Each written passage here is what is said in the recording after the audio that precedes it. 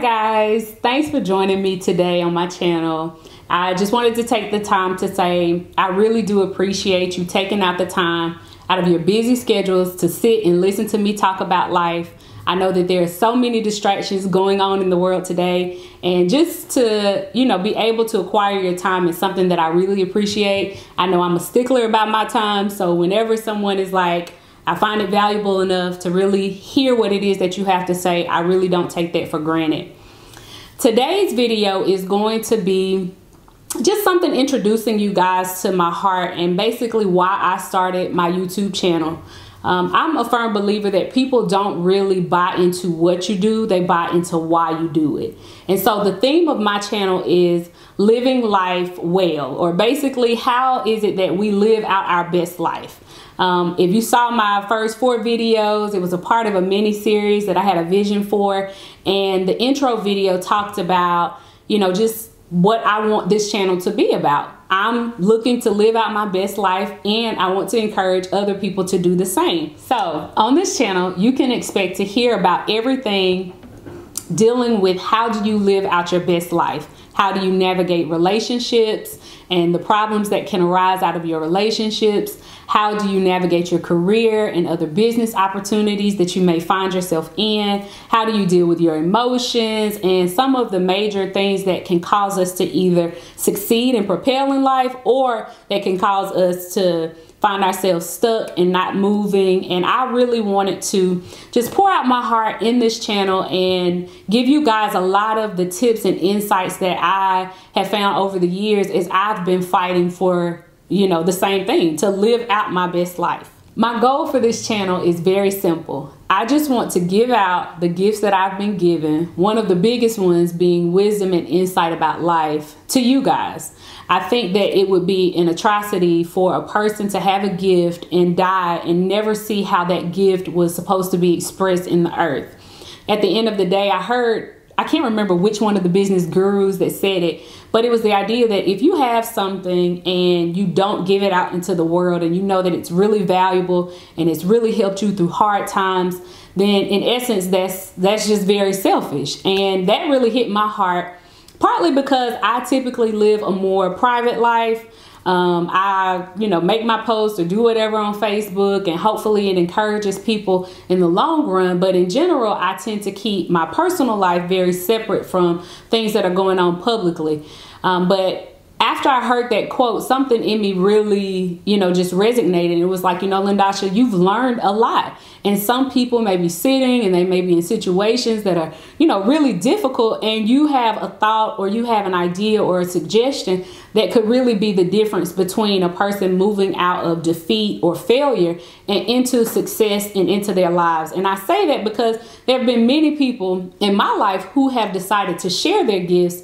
And as a result of sharing their gifts, I was blessed, you know, whether it's TD Jakes or um, anybody else, your local pastor, your mother, your grandmother, when they chose to really humble themselves and offer the insight, the wisdom, the gift, the love that they had, you know, it really changed somebody's life. And I think that that's what this channel is all about. So as I look at my life today, I really do believe that I'm living out the best life that I possibly can at this moment. Meaning I had to play the, the hand that I was dealt in life. So if I had had another hand, you know, as it related to my background or as it related to the community that I came from, maybe I might be further, maybe not. But given what I was given, I believe that I'm living out the best life that I can. And I think it's important that people, you know, sit back and kind of assess where you are in that question. Am I living, number one, the life that I even want?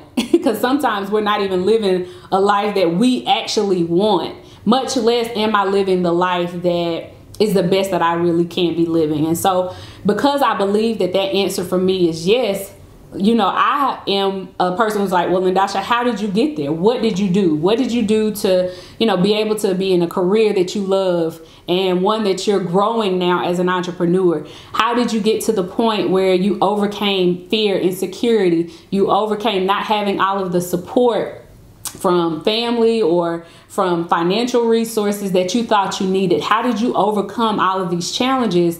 You know, especially as an African American woman to really be in a space in your life where you're like, I love my life, and not only do I love it, but I'm living out the best life that I have. Now, let me make a quick disclaimer. I am not saying that just because I am in a stage where I believe I'm living out my best life, that I've made all of the right decisions, nor am I saying that I've always had the perfect responses to the circumstances that have come up in my own life because I haven't by far. And it sometimes has taken years or months for me to really get my mind and my heart together about the various situations and the various life circumstances that I've faced. So I don't want anybody to think that this is about perfection or this is about, you know, putting out a, a, message that people really can't relate to. This is truly about moving from wherever you feel like you are in life to being able to declare within yourself I'm living out the best life that I can. And I truly do believe that that's where I am in my life. And that's why I believe it's time to share those things with you.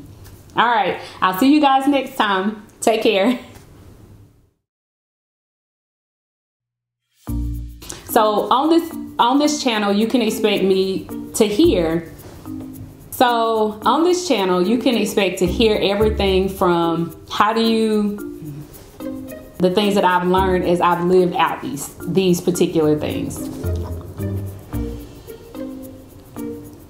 I can say it like I wanted to. I'm gonna do it again one more time. Be living at this point. Say it again. I kind of got thrown off. I was in my zone. I'm gonna film that again. I'm gonna film it again. Oh, this is the other part. Dang, I forgot that. That was good. Okay. I, like I feel good. Yeah, I felt good about that. Good. I do too. I couldn't get my words right on the other.